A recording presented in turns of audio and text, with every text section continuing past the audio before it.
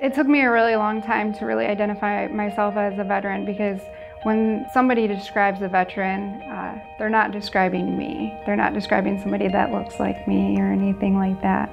My daughter actually had an experience a couple weeks back at school. They were all talking about what their moms and dads did for a living, and she told them that uh, my mom's in the army, and this little boy did not believe her.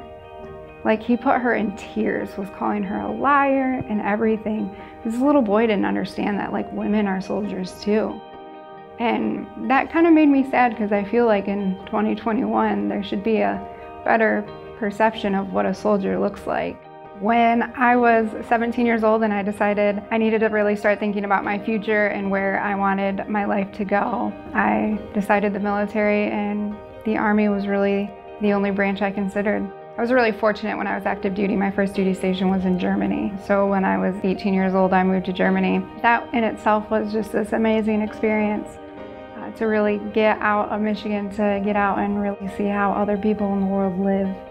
The military and the Army in itself is kind of behind as far as equality goes. They've made a lot of headway, but we're still not quite where we need to be. Being a female serving, I've been a giant inconvenience the entire time.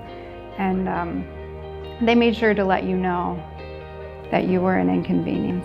And then anytime I would do something well, it was because for whatever reason, it was either an easier task or somehow I had an upper hand. It was never just me doing a good job. And if there was something that was difficult and I needed assistance with, which is the reality of males and females alike, um, sometimes you just need help doing something or you don't know how to do it. It was because I was a female. It was never just because I didn't know how to do it. I felt like I had to work 10 times as hard to get a quarter of the respect that the males got. My advice to any woman that serves is uh, befriend your female vets with you. Stay close, look after each other.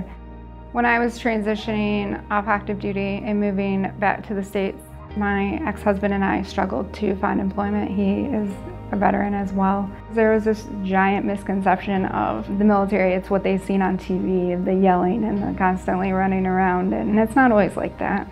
I think that you need to ignore the stereotypes because like any other prospective employee that's coming into an interview, we're all very different. We all bring great experience to the table and really looking at our experience and who we are as an individual like you would any other person who was not serving is really important.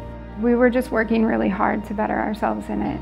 It felt like no matter what we did, it didn't matter. And it got to the point where we were nearly evicted from our apartment and we wouldn't have anywhere to go. Luckily, we had uh, stumbled on the VFW National Home for Children. We were accepted into that program, which really helped us get on our feet. It allowed me to finish my degree. It allowed me to have time to find better employment, which I did. They provided daycare for us, which was a huge help for us. It was really hard to uh, accept that I needed that help and that support, but I had to swallow my pride for the sake of my children, and I would do it all over again.